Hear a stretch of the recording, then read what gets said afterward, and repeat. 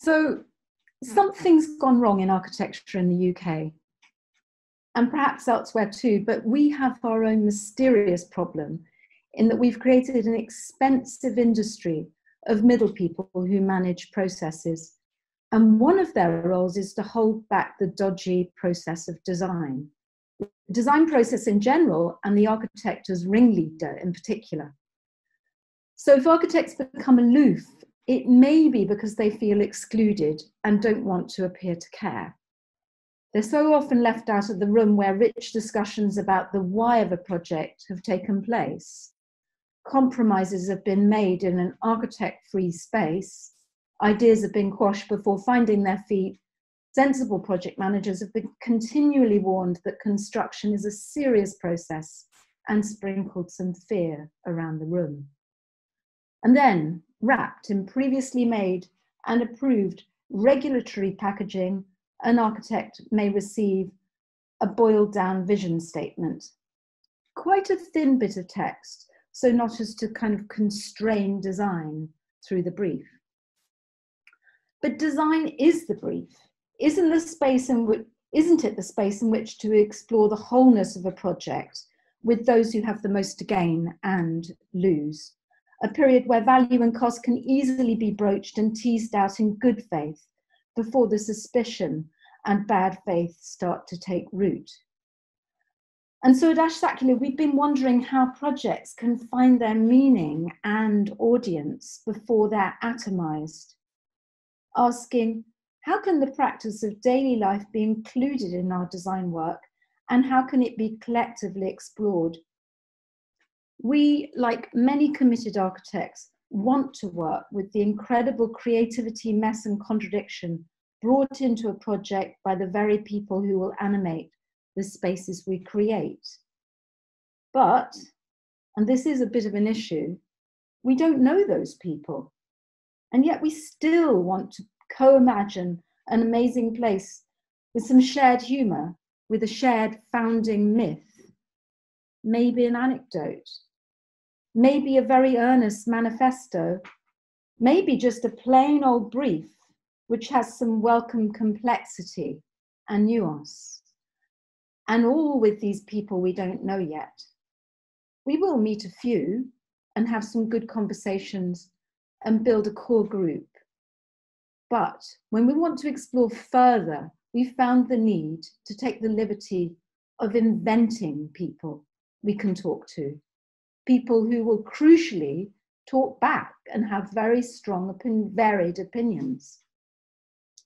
Animation and film are tools we can use in these rich, rich dialogues about place and architecture. Animation has the potential to amplify the impact of these feisty, if imagined, people of the future. Provocation of this sort is not the last word, but starts the words flowing we've discovered over the years that filmmaking makes telling a good story easier. People who would never come to or speak at a public meeting will watch a one or two minute film on YouTube and may even comment on it. Short animated movies can bring new audiences to architecture and some resistance to the commodification of property. They can give voice to the real or sometimes fully imagined people who will inhabit the project in the future. Now, let me introduce you to my avatar, who would like to show you some early experiments with animation in our work.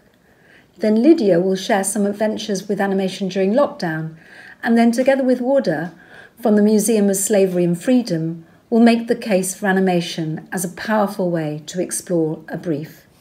So back in 2004, we'd just finished four unusual homes for the Peabody Trust, configured to fit small, tricky sites using airtight dry construction techniques.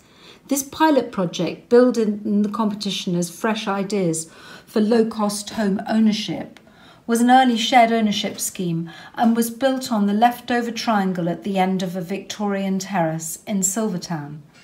Andrew Franks, one of the animators of Wrench and Franks, grew up in Canning Town and loved the mishmash history of the docks and the slightly mad collage city growing up around City Airport.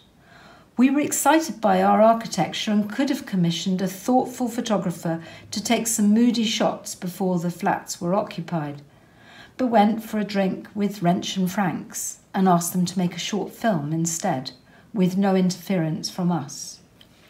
They found people in the street who felt the homes had landed from Mars, and building on this extraterrestrial theme, a friendly alien in a small ship closely resembling our housing pods came sweeping across the barrier park into Boxley Street with its brick two up, two down dock worker housing to inspect this new layer to the collage. This was the moment Ash Sakula climbed out of our bubble and realised we really needed both the sound and movement you could only capture through film if we were to fully explore the potential of a place. Quite soon after this, we asked Wrench and Franks to help explore the zany qualities of Southwold, a 1950s seaside town, and a windy park we were designing on Brixton Hill. Such different places. Here are some snippets of all three of them.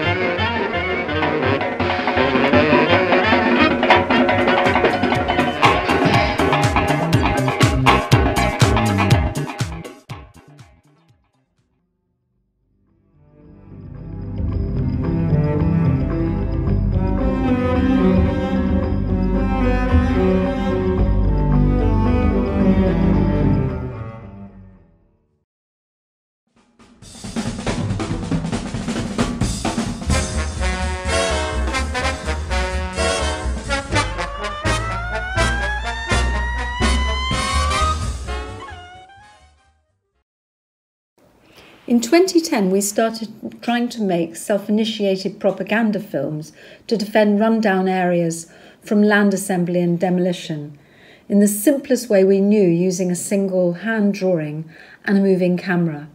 We gained confidence working with Adam Furman, the artist and filmmaker who was in the studio at the time, using layers of sound and an authoritative voiceover. We loved these films where we could invent new, better futures for places and called them adaptable neighbourhoods. They didn't prevent some demolition taking place, but got people talking about alternatives. In Leicester, it was about protecting existing buildings and businesses.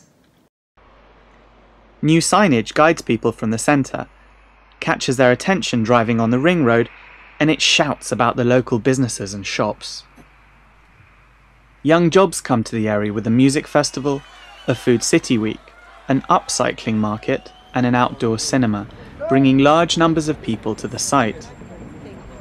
A pop up garden and nursery is built, softening the border with the main road and bringing gardening enthusiasts who help radically green up the place.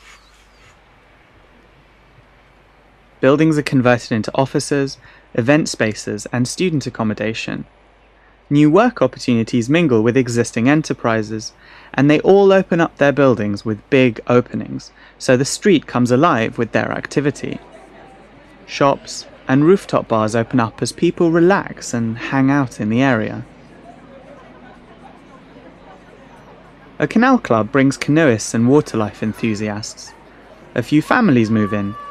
The market and garden get a permanent home, and the old viaduct is opened up with grand steps as it becomes the favourite route into town.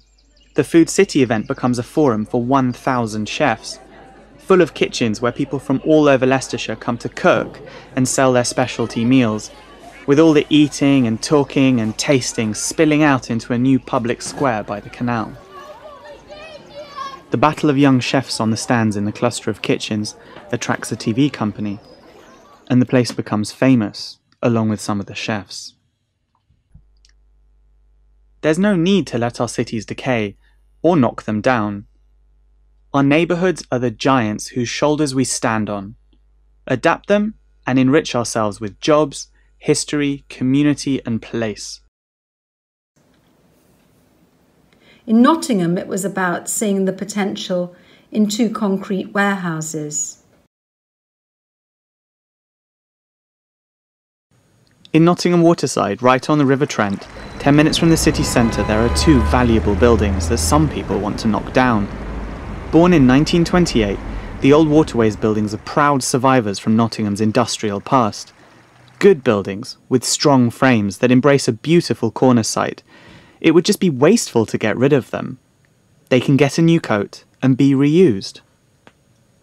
The cathedral like ground floors could be opened up with a path directly through them, becoming an integral part of the Riverside Walk and bringing cyclists, wanderers, and walkers into the restaurants and cafes that wrap around the giant columns. The lower floors are large, highly flexible workspaces. They're serviced to allow compartments to come and go and occupied by creative startups and restartups fed by recent graduates and ambitious people from Nottingham. Because of the full spectrum of flats available in the building, it becomes an internal marketplace for upsizing and downsizing, where whether your kids are at home or at uni, you can be in a flat that is the right size and shape. Inside is a supportive environment, where large windows turn the corridor into a shared space for looking in and out of kitchens and living rooms and posting notes to remind each other, Kate, don't forget you're on tomorrow for the walking school bus, and remember brunch on the roof this Sunday, all invited. On the roof are summer houses and platforms for picnics looking out over the river. There are solar panels, tough vegetable patches, sedum and planters growing seasonal flowers that filter the building's water. A new civic space becomes a major attraction on the river. Houses on the square mean that there are eyes on the street at all times. Events take place all through the year. A farmer's market brings fresh produce from around Nottinghamshire once a week, and a new pontoon becomes a hive for riverboat retail. On summer nights, movies are projected as people sit in the square having picnics. This all acts as the focal point for new development as terrace roads lead people to the site down winding paths. If we push beyond skin deep thinking, we'll often find that the key to regeneration is continuity, being custodians of our past, because sometimes it's the very thing you think is in the way that's the best starting point. Nottingham Waterside. The same spirit of hybrid development around old structures and cartooning future neighbourhood life led to this film about Hackney Wick. And a place remarkably like this cartoon will now be built. Here it is back in 2015.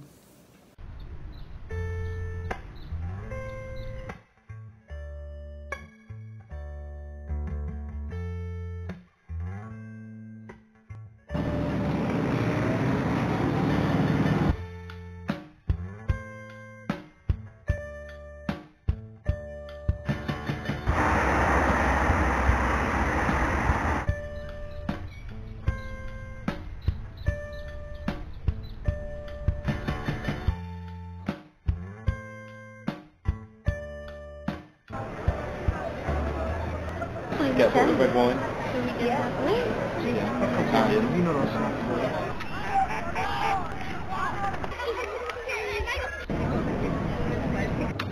So how's it going? Like, you've been working all night, haven't you?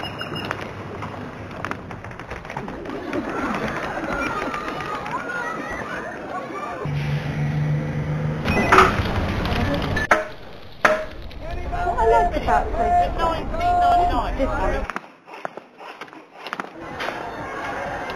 and gentlemen, time for the show. Did you? serving us This- excellent all the time. We don't know.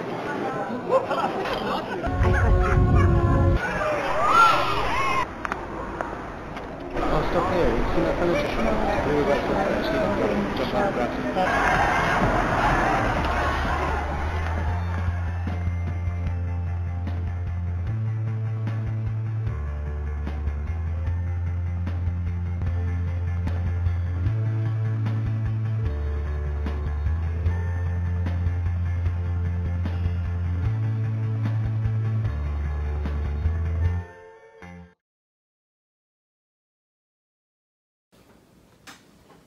Now, recently we've been trying to zoom in to get closer to people's faces and their thoughts. Lydia will whiz through some of our lockdown animations and what it took to get more intimate with a host of new tools. When lockdown came around and we all retreated to our separate workspaces in London, Cornwall, and Bulgaria, it seemed like the perfect opportunity to experiment. Some of us were completely new to animation, while some of us had a small repertoire of skills we had acquired from earlier ASHSAC projects. We started with our own predicament. Two members of the team had to work around small children and invent new rituals, camouflaging backdrops and embracing chatbots. It felt quite futuristic. And what was really odd is that only a few weeks before lockdown began, we had started a collaboration with Frances Holliss, the big champion of home based work, to explore architectural prototypes for what she calls collectively the work home. Then suddenly we were all doing it, the biggest experiment the modern world has known, whether or not the space was there. Part of the work home research had involved in depth interviews with 125 home based workers from urban, suburban, and rural contexts in the UK, the Netherlands, Japan, and the USA, across the social spectrum in a wide range of different occupations. These were work home realities, including bakers, hairdressers, childminders, carpenters, furniture makers, eBay shop owners, beauty therapists, car mechanics, ironers, plumbers, as well as the usual laptop trades. We took a challenge from Frances to breathe life into 60 businesses through 60 GIFs tethered to the same kitchen table at the same angle, demonstrating the different space requirements of the different professions. This technique also allowed us to evidence the unpaid domestic labour home workers rely on, which we illustrated in orange, popping into the screen from time to time. And the different drawing styles of the members of the office helped to illustrate the diversity we were trying to show. Here are some of the GIFs we created for you.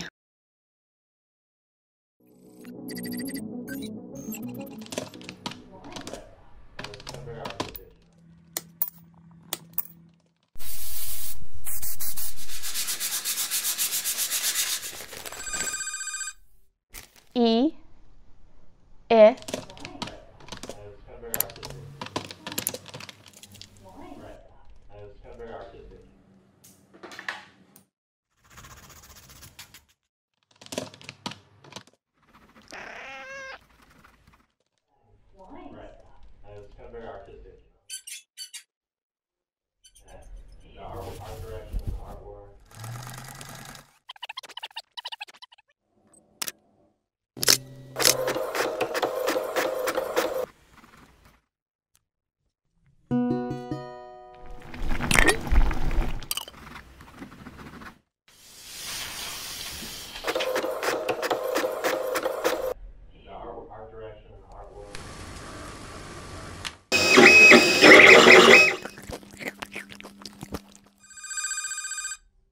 six, seven, eight, step one.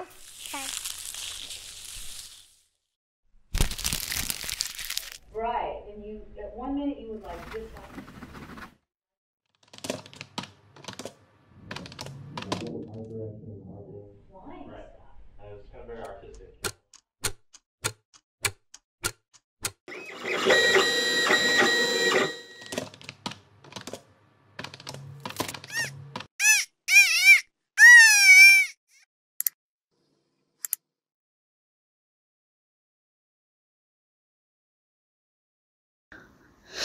As the GIFs flew together, we started thinking this could be infinitely expandable in this COVID pandemic. So, in response to a call from the Migrants Bureau for Open City, we have sent out a resource pack for young people to document or propose jobs around this same kitchen table. The same kitchen table drawn from the same angle can be the fixed point in an expanding open source hand drawn collection of global home working. Of course, policy in this field needs to change in the UK to overcome the challenges of inequality and insufficient space. So, for more on that, jump over to workhomeproject.org, where you'll find our drawings, as well as podcasts and blog posts. The second lockdown challenge we looked at was the future of buildings being vacated, offices and shops at the heart of town centres. In Peterborough, we had been asked to find a future for Beales, a recently bankrupt department store there was a chance the mood would go against transforming this beautiful Edwardian city block, so we were keen to ensure demolition was firmly off the agenda. Sadly, COVID coupled with online shopping makes it hard to believe in animated town centres at the moment. In this street in Peterborough, half the shops opposite the old department store were vacant. So, animation techniques to the rescue again. Perhaps we could deliver the confidence trick needed to convince our clients, the landowners, as well as future developers and the town's community, that we could create a thri- thriving high street once more.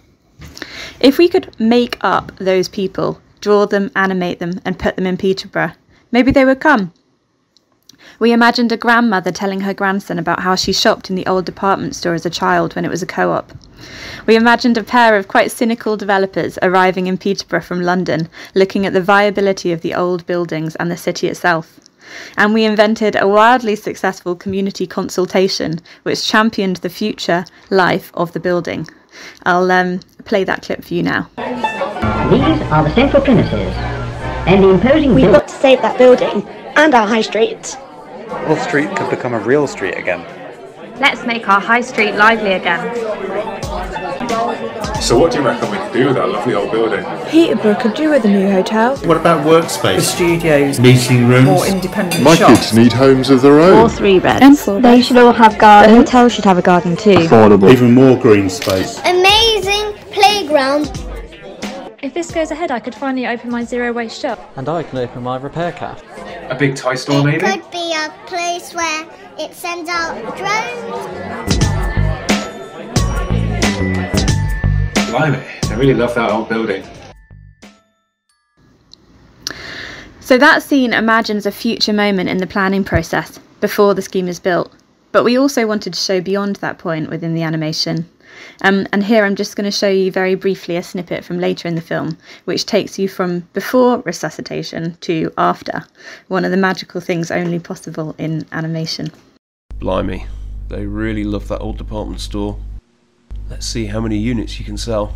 Easy. You're right, I can imagine lots of people wanting somewhere like this. As you can see, we were moving on with our animation techniques.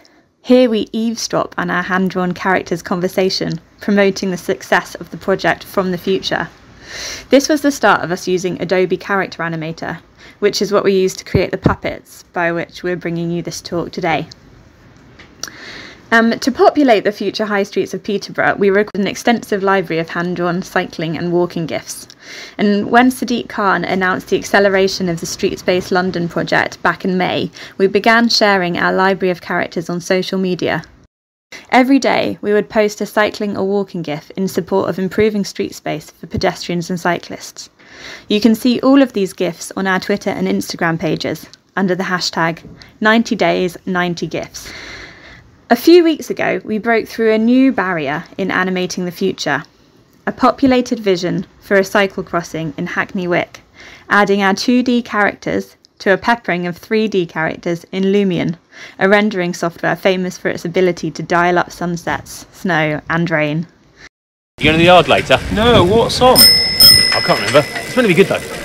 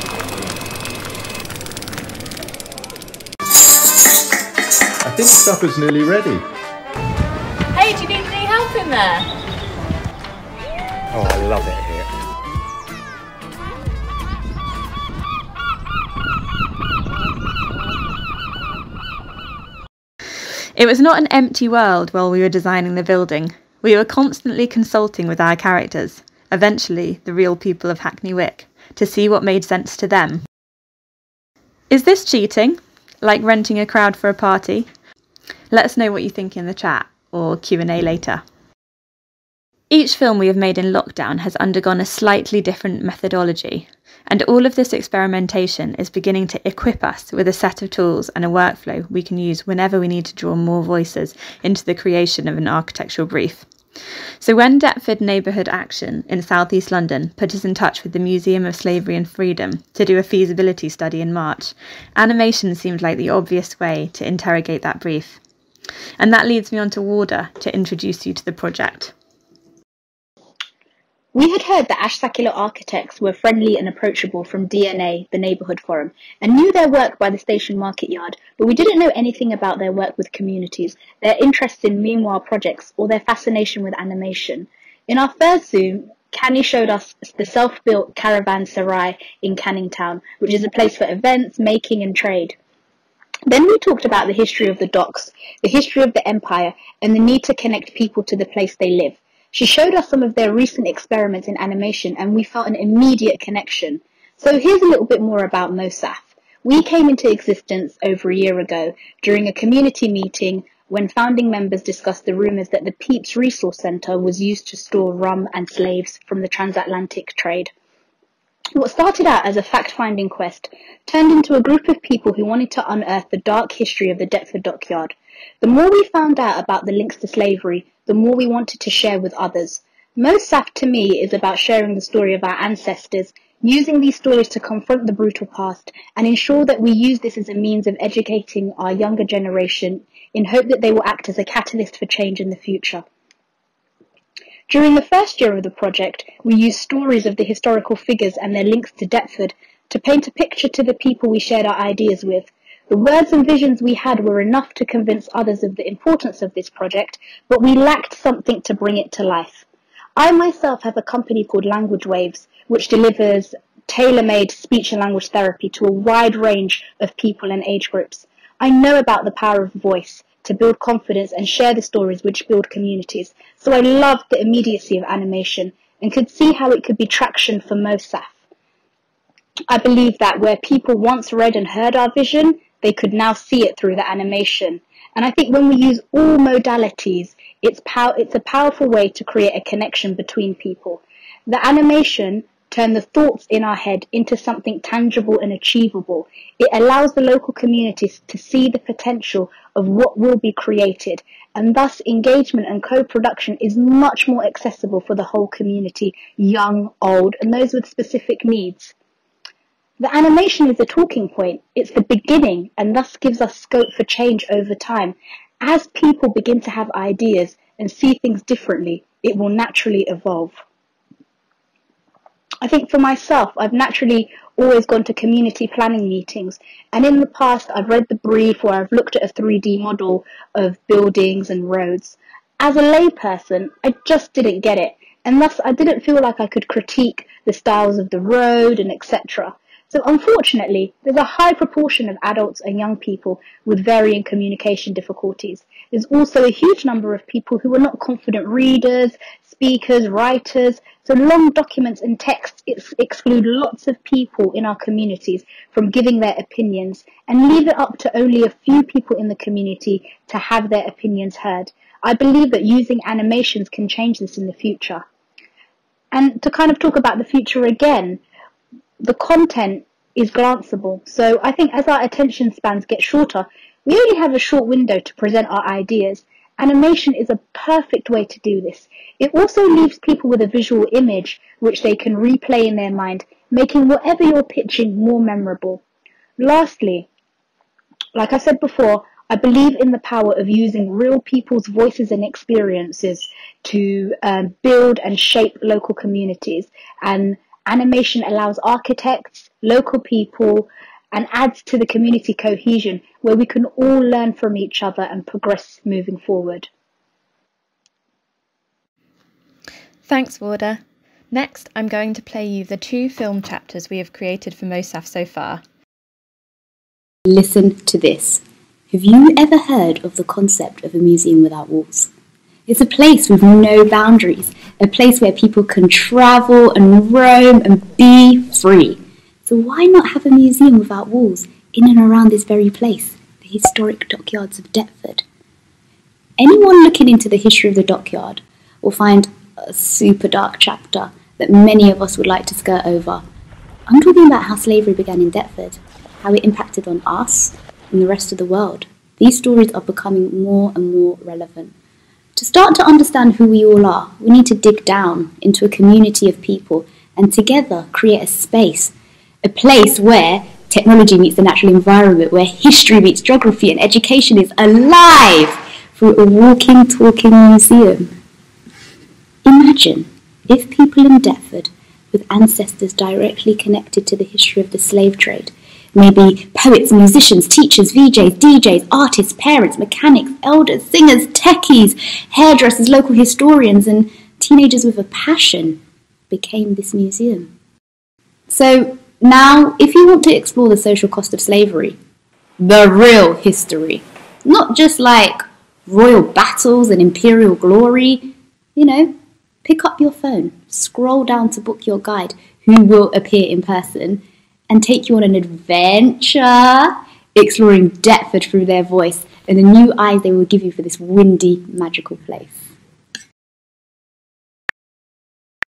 Deptford Dockyard was established by none other than Henry VIII 500 years ago. It was the first royal dockyard and the most significant of the Tudor period. What we all know to be Convoy's Wharf was then called King's Yard. King Henry himself would come here and watch the Royal Navy vessels being built. For the next 300 years, this dockyard remained one of the principal naval yards in the country as well as becoming a major shipping dockyard. But as we look back through the history of this ambitious, powerful, momentous place, a dark tale unfolds. In this very dockyard lived the English father of the slave trade. His name? John Hawkins. He is thought to be the first to profit from the notorious triangular trading system. After his barbaric voyages transporting African slaves across the sea, he and many others brought sugar, rum, cotton, tobacco back to Deptford shores. We learn in school that Britain led the way in abolition. What isn't often taught is that the slave trade generated the wealth that created the Industrial Revolution in England and lined the pockets of the aristocracy and the City of London. Look around and you will see building after building produced by the money made from abducting Africans and their commodities. Assalamu alaikum. Gina Lundgren, UAC. I'd like to talk to you about the African slave trade across the Sahara Desert, across the Indian Ocean, and began with the Muslims, Arab, and the Swahili traders won control of the Swahili coast in the 9th century. I remember the first time I went to the House of Slave in Senegal. It was so, so moving to see how the way people were treated, they were captured, and they were kept in this dark, narrow, dirty dungeon. Walking towards Southwark from the Royal Dockyards along the Thames, you'll see a road named the South Sea Company. It was set up to supply African slaves to the islands in the South Seas and the Americas.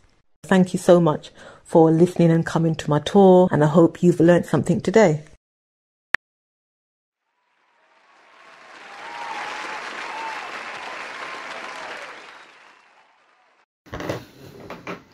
Making animations is not an exact art following an agreed storyboard. That was a hard learning curve. So many elements get worked on in isolation, and then when they come together, it's sometimes quite messy. Obviously, more so whilst you're learning new skills and software. We often find ourselves picking apart what we've already made, throwing all the balls up in the air, and rejigging it into something that more clearly and effectively tells the story. This can be tricky when you've been looking at something over and over. It becomes really difficult to step back and see the bigger picture when you've been working on it so closely for so long. That's why a really important part of the process is getting fresh eyes onto the work regularly. For this animation, those fresh eyes were a group of four women from the Black Females in Architecture organisation that volunteered to help Ash Sakula with the project.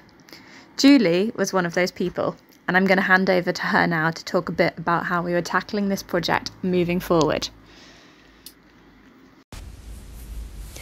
There are loads of cool aspects to what Ash Sakula have produced for the two films so far, but the story still needs bringing together.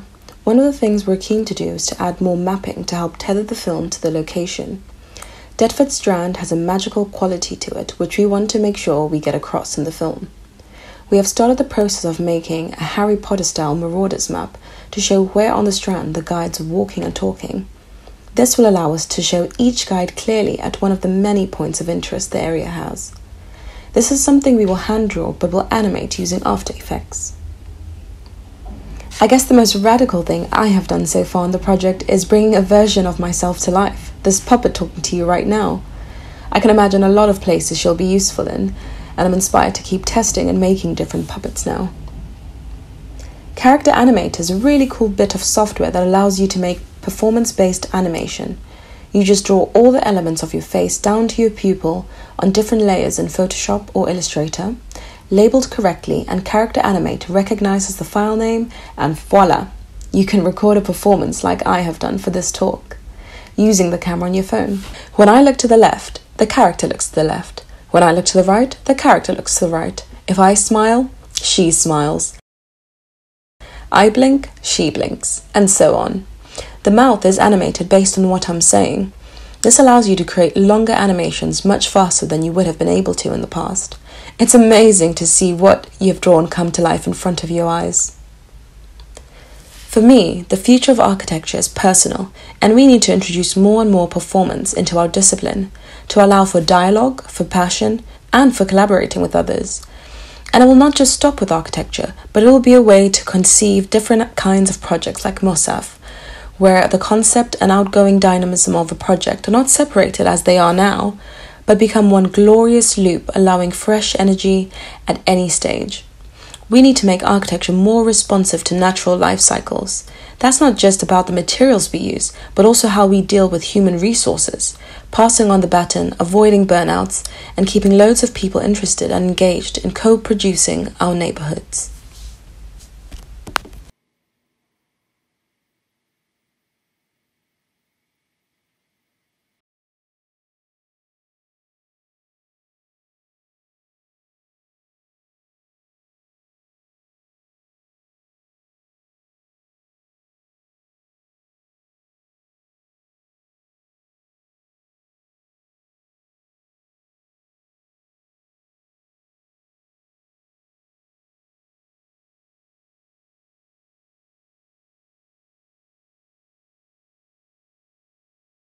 It would be really interesting, um, if you could say a little bit about um, the animation to reality that you, um, how much you can believe the, the idea of guides um, opening up Deptford to all comers. I think there's real potential in um, animation and using that alongside architecture. I think at the, like I said before, at the initial stages of Mosaf, we just had an idea. We didn't have anything tangible, something that could be brought to life, something that people could see, buy into, um, advise us, give us their critiques, give us their opinions. And I think what we would ideally like to do with the guides is it's about kind of economic empowering people, giving them kind of flexible work, upskilling them, but then using that in a whole creative process. So, you know, incorporating um, the animation, the architecture, the, the software. So it, it's, it's an amalgamation of a lot of things, but I think that animation has been really crucial to our project, to our aims, and it's going to be something that helps take our project forward. So, yeah.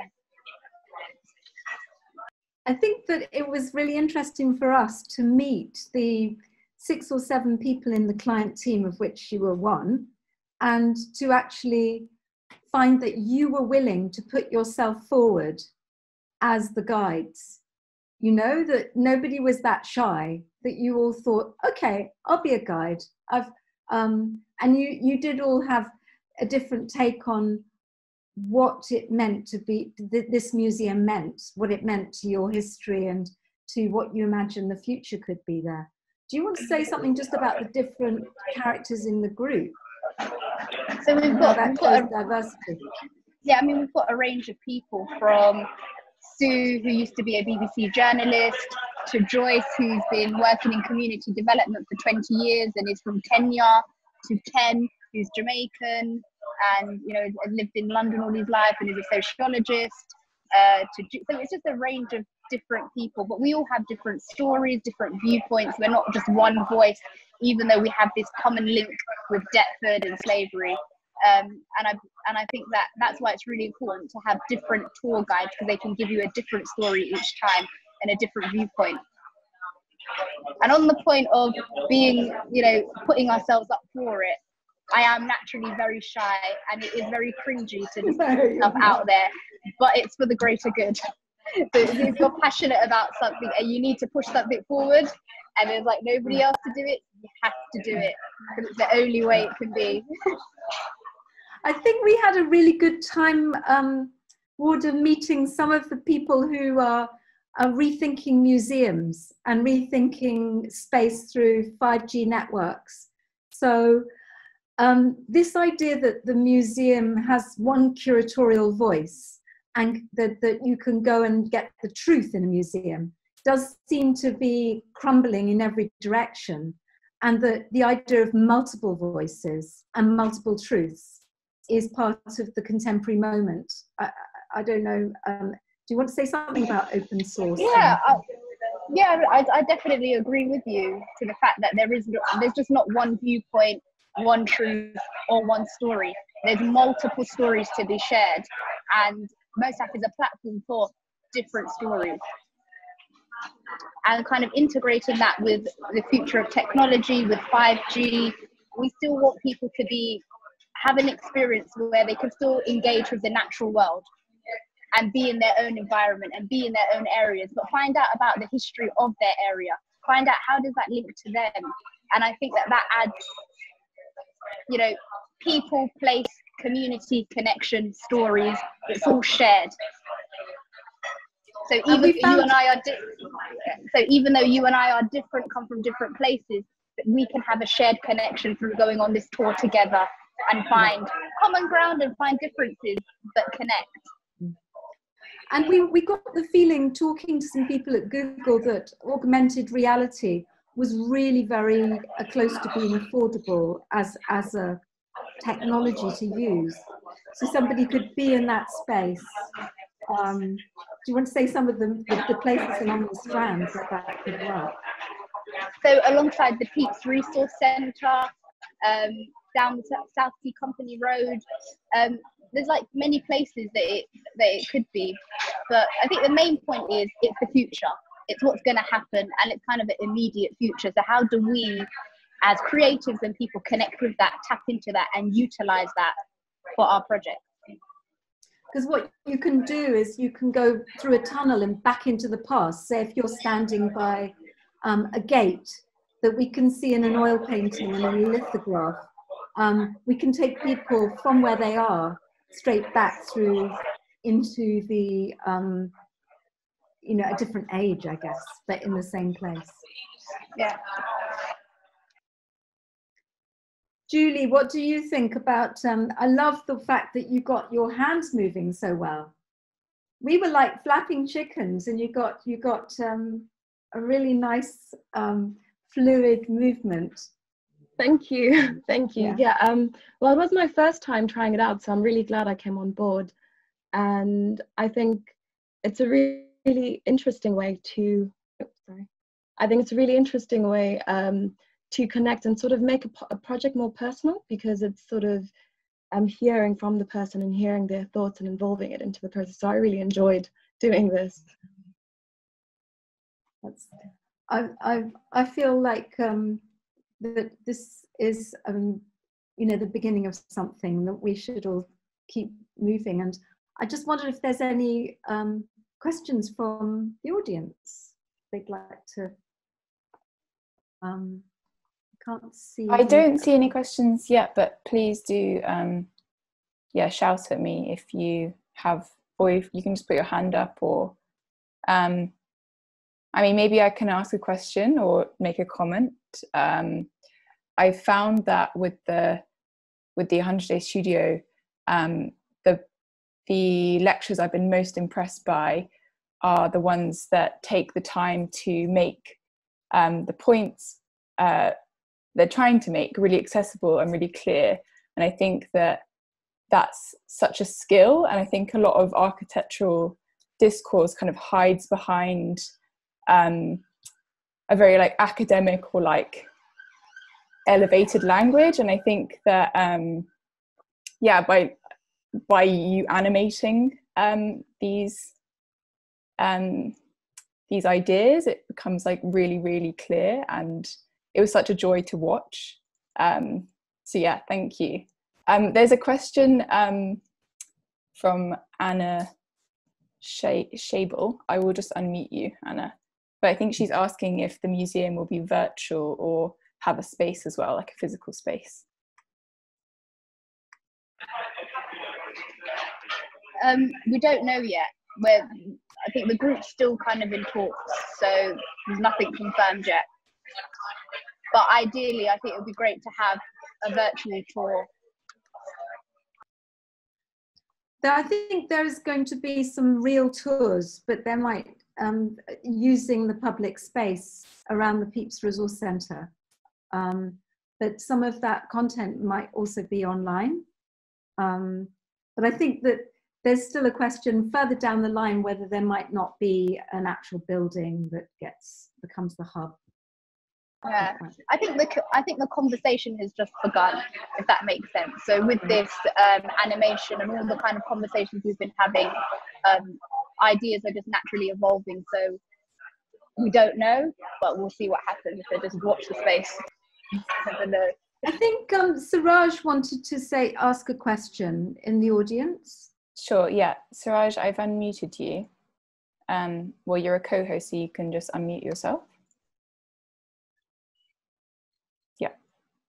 Well, uh, uh, it's absolutely fascinating um, because um, I mean, especially with Warda, what Warda and uh, Julie was saying, because I've looked at this issue of how do you, I guess, almost smuggle the black body into the museum um, in the in the Western sense, and um, one inspiration for me has always been uh, Herbie Hancock, um, in the way that he was the first black artist on MTV.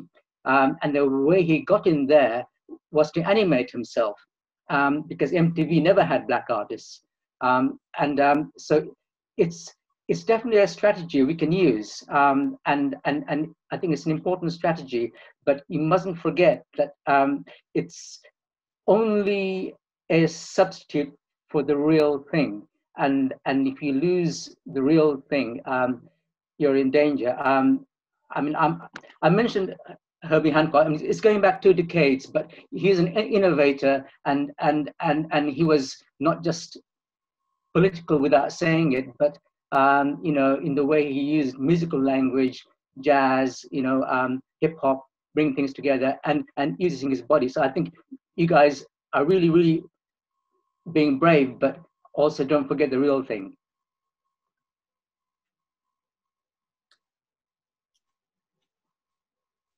When you when you say real thing, what do you what do you mean? Just I mean, so I understand. I mean real public space, um, uh, access to capital. Um, I mean, I've been in London long enough to know that it's very difficult to get access to capital uh, if you don't do the formulaic things. Um, and if you deviate anyway from the routine, it becomes almost impossible. Um, the hurdles become uh, too great.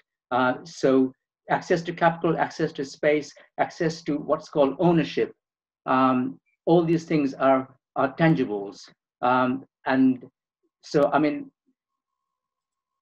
when you virtualize it yourself, often you, you avoid these issues and you manage to slip through. But uh, don't forget the, you know, actual, you know, I mean, at the end of the day, ownership is is the critical thing ownership of property, space, bodies, everything.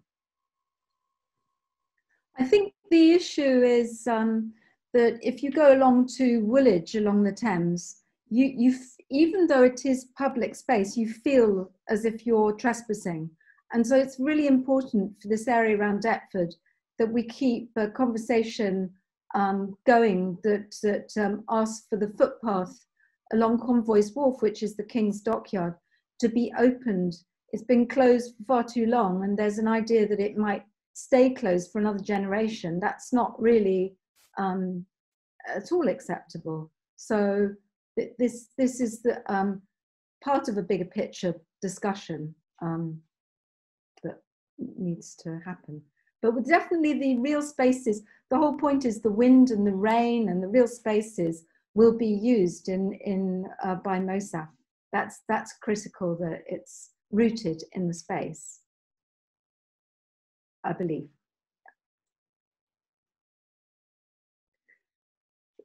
Is there's um, Rosie, if Hmm. there's no other qu- questions, we could um, Um, yeah, I mean, I wanted to ask um, maybe how, um, well, I guess because the museum isn't a physical space, um, it's a very different type of um, architectural practice that you're doing. Um, and like, do you see this as part of your um, part of the rest of your work, or is this like more of a an, an like an illustrative um, project, or like as in how does it? I guess yeah. I mean, I, I don't know um, uh, whether Lydia wants to answer this or I can, but the, point about this talk was that um, it's not illustrative, it's like at the core of the, the why about projects that um, we need to imagine places more fully and in a populated manner so that we can actually um, be fully you know fired on all cylinders. Otherwise we're we create a lot of architecture is created in a very thin set of capacity studies followed by um, you know small cgis and then working drawings and then it pops up and there's marketing material. The whole thing is on um, you know too narrow a bandwidth to really create great work. Um, so this is um, very much not a side issue for us. This is like central, and we are really interested in um, bricks and you know casting things in concrete and the way wood moves, but also and you know we really um, don't want to just be um, dealing with materials in a kind of um, you know uh, person free place. Do you want to say something, Lydia? Yeah, I was just going to say, I think we're starting, as we develop these techniques, we're starting to see them as part of the process we'll use for a whole range of different projects. So while this project might be quite different to um, more traditional architecture projects or projects that have more physical, uh, traditional architecture in that sense, um, these processes for interrogating a brief through animation and thinking in this way can be applied to you know to those projects as well to a whole range of different projects. Um, and this is you know this lockdown has been an opportunity for us to to really kind of develop those skills so that we're now equipped to kind of apply them for for more more traditional projects perhaps going forward as well as other projects like this Mhm. so yeah so i think it is it's not something that we just apply to you know um, I think um, there's also already a lot of skills needed to to do anything, aren't there? And that, that this um, confidence that architects need to have to question, to um, to actually resist um, clients and to create their own kinds of clients and create their own opportunities. Um, that's the space that that that um, is vacant at the moment, just for a moment, I think, in this COVID time when the tables have been upturned in the property industry, and there's definitely um, a feeling we get that uh, we need, all of us as architects, need to be um, more confident storytellers and bring um, all of our friends along with us and make new friends and just create a bigger canvas for what we do. Um, well, amazing. I, I mean, I wondered if um, maybe just to close um, that uh, Warda um, and then maybe Julie could comment on like the their involvement in the project and then also like where the project leads. Um, yeah, so just um, sort of touching on from uh, what Cany and Lydia were saying, I think it's actually quite an interesting take into design um, of designing with animation because I think it opens up the doors of collaborating much more than they would have. Um, so people can be involved in the earlier stages of design and in more of a creative way rather than like specifically architecture design. So whether it's with speech or with narratives and how that my involvement in this was um, I hadn't done this before. So being able to learn this new skill and see how it's applied to design where I hadn't seen that connection before was really eye-opening and it's sort of see, it's sort of looking at how this is maybe not something that's secondary but it's sort of consistently involved through the process so being able to work with more people that are not necessarily from architecture backgrounds but seeing how their narratives and their outlooks can inform your design so yeah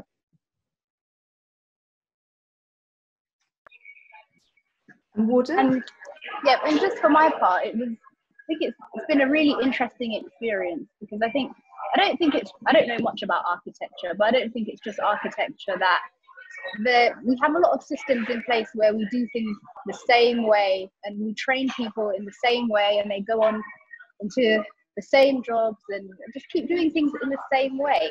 And I think that when you think about doing things differently or delivering a service that's more tailored to your client or the community. You, you can do things just in a more innovative way.